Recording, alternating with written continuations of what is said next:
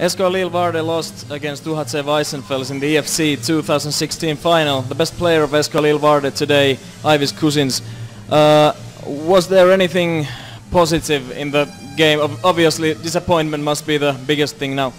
The positive was the atmosphere in area, and of course we had a little mistakes uh, in corners in front of the goal, uh, in front of the goal, and so uh, we lost in uh, different situations and they got scores. But uh, the turner was uh, positive. Uh, you did a great comeback uh, in the third period, but it wasn't enough today. Uh, what do you think? Why wasn't it enough today? I don't know. It's like our sickness. Also, some games uh, before in Latvia we got out the same situation, minus three, minus four, and then we make comebacks. I don't know what's.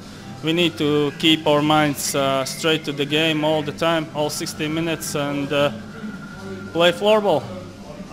Uh, what do you think of the tournament itself, uh, the organizational stuff and, and everything like that? Was it was it a good tournament? Yeah, tournament was good. Uh, organization was very good. Uh, it's uh, hard to adapt to your food. Yeah, but uh, it was nice. Thanks.